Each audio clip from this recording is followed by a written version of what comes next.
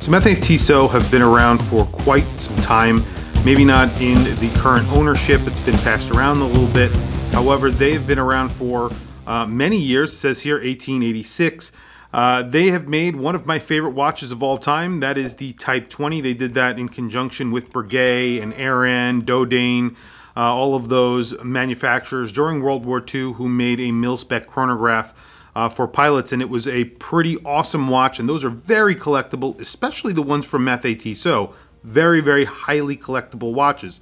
Uh, this is a watch that was actually sent to me by the Asia Mechanical Watches Group, a Facebook group who actually teamed up with Mathey Tissot to make a watch. And I have to say, it's a pretty cool watch. It's sort of a, uh, I guess, a Rolex Explorer homage, but it has a little bit of its own styling to it, and that's mostly in the bracelet.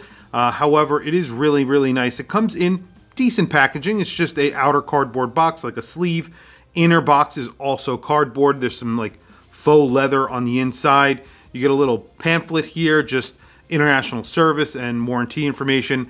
Uh, it says 135 years there, obviously uh, capitalizing on the fact that Mathey Tissot have a very long history of watchmaking. Uh, and then there is for the uh, actual Facebook group a little card and a sticker. And here is the watch. So you could see this has a lot of Rolex styling to it. And now what they went for with this watch is a wearable 34 millimeter size. So it's a very wearable 34 millimeter size. So for smaller wrists, this definitely will work very well. It has a very tight lug to lug. I believe it's around 42 millimeters lug to lug if you include uh, do not include the actual male end link, so it's 42.8. If you include those male end links, it's more around 48 millimeters is what I measured. And then it's just over 13 millimeters in thickness, including that very domed sapphire crystal, as you can see. It's a boxed and domed sapphire crystal. You get a screwed in crown, screwed in case back. Case back also looks very, very Rolex, as you can see. Um, and it just says Asia Mechanical Watches Group exclusive. And as I said, this is exclusively made for their group. Uh, however, you can buy one if you would like. And I think they're coming out with a second edition because this might have already sold out. I'm not entirely sure. Very big, grippy crown, which is signed with the Mathey Tissot logo.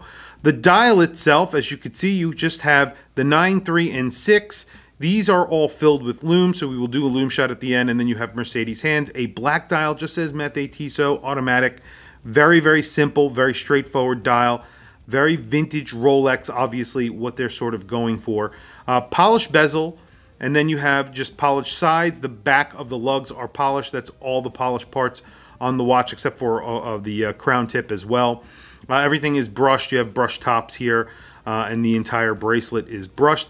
Now the bracelet is actually very interesting. You have uh, screw pins, so the pins are screwed, but they are double screwed. So there's a little screw that goes in one side, and there's a screw that actually slides through the entire um, uh, link. They are very solid links, and they are all through the uh, entire case. It sort of looks, uh, entire bracelet, excuse me, it sort of looks like a riveted bracelet, uh, and I kind of like it. I like the look a lot. And then you get, obviously, a milled clasp, which is also signed. Now, one thing I did notice about the bracelet, it does stick a little bit because if you tighten all of the screws, it'll actually stick just a little bit, as you can see.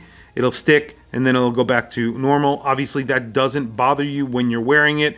It does taper a little bit. As you can see, it starts out at around, I believe, around 18 millimeters. It goes down to around 16 millimeters. Let me double check that though. Um, so it does taper just a little bit, 16 millimeters, and then I believe this is around 20 millimeters. So yeah, it's 20 millimeters at the lugs, um, and then it goes down to 16 millimeters. So uh, very nice setup on this watch. I think it looks really good, and it also has a Swiss movement in it. And what they have put in here is a movement that you do not normally hear about or see very often in uh, in Swiss watches recently.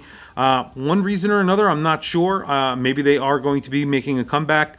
Um, I'm not sure if these are original movements. So in other words, if these are old stock movements, because I believe that ETA took over this brand. It is the MT224, and that's the Perseo. Perseo was uh, a Swiss brand. It was they've been making movements for a very very long time. They were taken over by the ETA Group, I believe.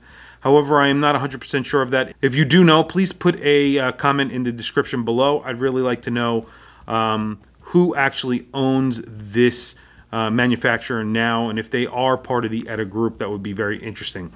Um, so, very quickly, I'm going to throw it on my wrist, and then we'll talk about price just a little bit, uh, and then we will do a lume shot. Today, I am wearing my Tissot. This is the PRX, the Powermatic 80 version. I just actually made a full review for this just a little while ago. It is just an awesome watch. So here it is on my seven and a half inch wrist. You can see it wears really nicely on my wrist.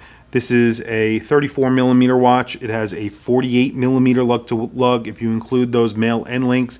If you do not, it's about 42, 43 almost.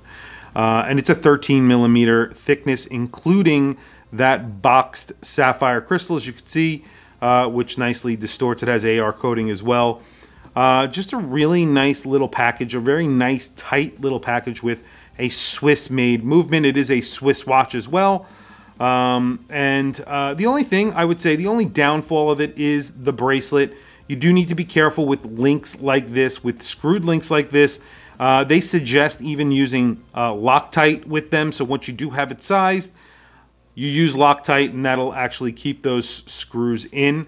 Uh, and that's what I'll be doing with this because uh, you don't want that actually to come out. You will lose the watch if the uh, if the uh, bracelet does come loose. Uh, but other than that, I think it looks really good on my seven and a half inch wrist.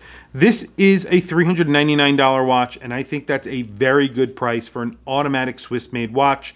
Uh, from a brand with a name that is actually recognizable, that has a history, whether or not it can be linked directly to the current owners, that's the case for a lot of watches out there.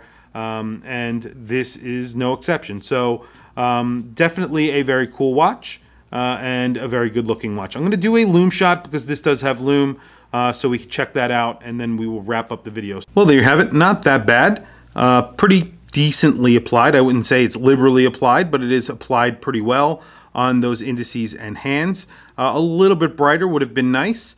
However, you can see that 9, 6, and 3 are lumed, and then all of the indices and hands, even the lollipop on the second hand is lumed as well. $399 for a very nice little package, Swiss made, automatic, uh, with a movement that you don't see very often, which I think is pretty cool. I always like that. 34 millimeters sapphire crystal, uh, which is domed and boxed, looks really sharp obviously going for that Rolex Explorer, vintage Rolex Explorer look. And definitely you can see that in this watch. Even the bracelet sort of looks a little bit reminiscent of uh, those vintage Explorer bracelets as well. Uh, those riveted bracelets. It doesn't look exactly like a riveted bracelet, so uh, I do like that as well because it's not exactly the same. Uh, screwed in crown, screwed in case back, so it should be a very good everyday watch especially with someone who wants something that is a little bit smaller if they have a smaller wrist or a wrist on the smaller side. Even someone with a wrist my size could definitely pull it off. But tell me what you guys think of this watch in the comments below.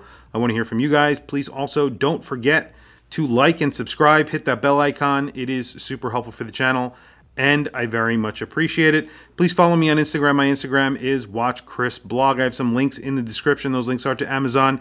If you click those links and buy anything, it helps support the channel. It doesn't cost you anything extra. However, I very much appreciate it. Anyway, thank you for logging on. I'll catch you guys in the next video.